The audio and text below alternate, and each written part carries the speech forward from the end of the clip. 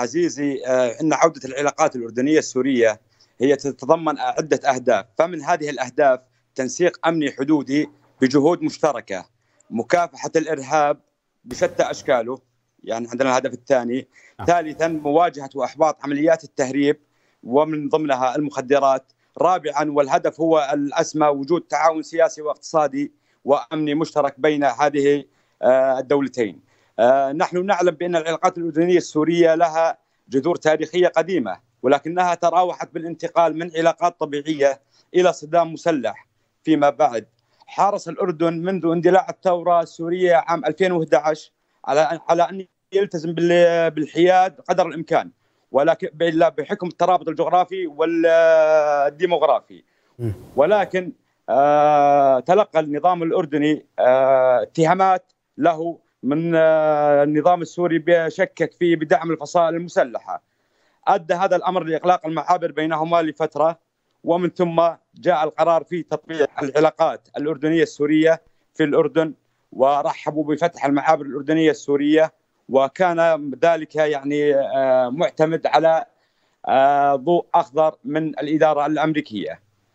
طيب دكتور بشير تحدث عن العلاقات الأردنية السورية لكن اليوم المقترح الذي قدمته الأردن بعنوان اللا ورقة يعني هو تتحدث عن بشكل عام لحل الأزمة السورية وتحدثت عن ضرورة مغادرة القوات الأجنبية وضرورة تنسيق بين الحكومة السورية وقوات سوريا الديمقراطية إذا ما مؤشرات هذا الحديث اليوم من الأردن؟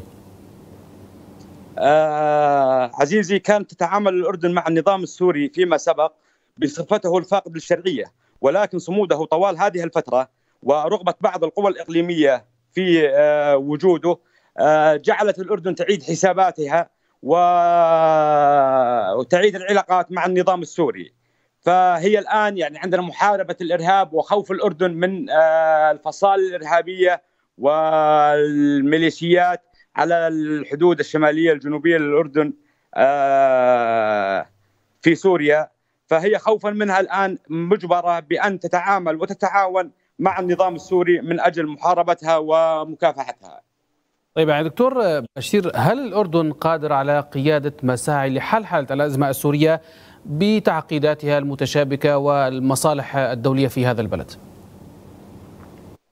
من وجهة نظري أن التقارب السوري يصب في صالح الدولتين يعني على المستوى السياسي والاقتصادي وبالتأكيد إن استعادة العلاقات العربية مع سوريا يعني بات ضرورة ملحه في ظل التحولات التي تشهدها المنطقة.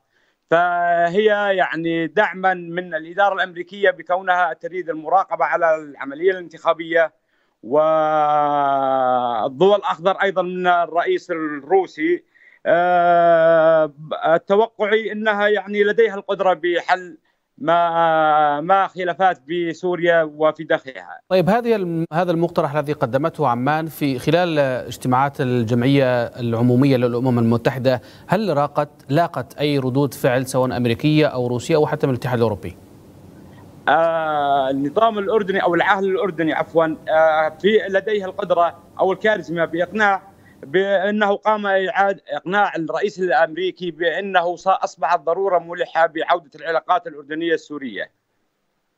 وبناء على ذلك تلقى جلالة الملك أول اتصال هاتفي من الرئيس بشار الأسد منذ 2011 منذ أحداث الثورة يعني.